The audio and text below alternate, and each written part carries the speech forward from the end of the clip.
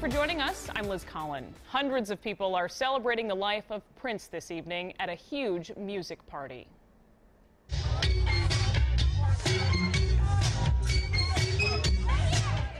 You can see here fans filled the lawn outside Sabathani Community Center in South Minneapolis as singers and speakers took the stage. Our Nina Moini joins us live from that block party. Big crowds we see behind you there, Nina.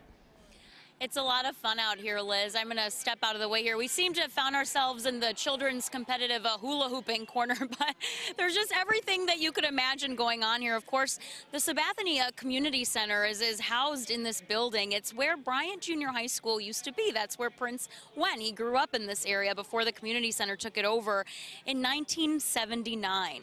Today's events uh, started out at 1 o'clock. Mayor Betsy Hodges was here uh, kicking the day off with her remarks. Ever since then, it's just been a constant uh, dance party.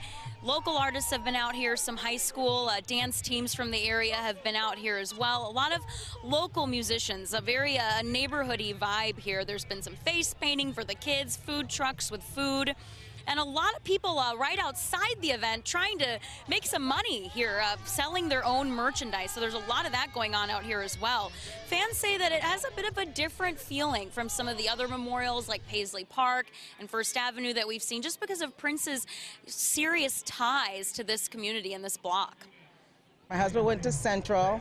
I did go to Bryant Junior High School. So it's kind of nice to just kind of come back and just kind of, you know, see some of the familiar faces. So it's been really nice a lot of personal stories like that out here and a lot of people who went to all of the other memorials as well that have come out here. So we're told that this uh, whole community party is going to go on until at least 6 o'clock. It's kind of a on a whim here. They're not on a really set schedule, but we are told that uh, toward the end of the events here, Sounds of Blackness, of course, a Grammy Award-winning group from right here in the Minneapolis-St. Paul area that performed a lot with Prince is going to be taking the stage. So there's still time for people to come on out here if they're interested. A lot of fun out here. Can can't help but notice a lot of purple on display there as well today. Tons, Nina.